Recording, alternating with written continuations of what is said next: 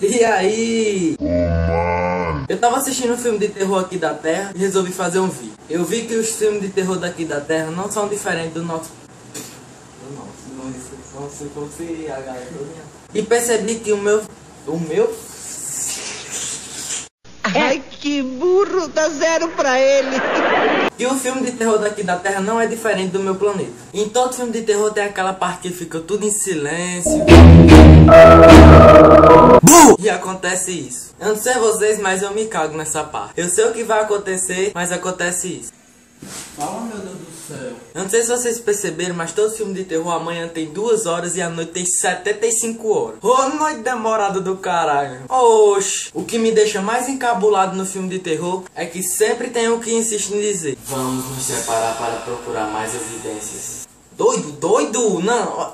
Se mais alguém aqui, bom, só que é dentro do teu. Não, mas ele não é besta, não.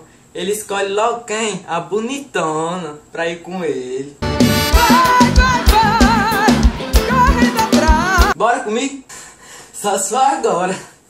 Doido, doido, ô doido. E também quando eu tava assistindo o filme, eu reparei em uma coisa. Sempre tem aquele seu amigo corajoso.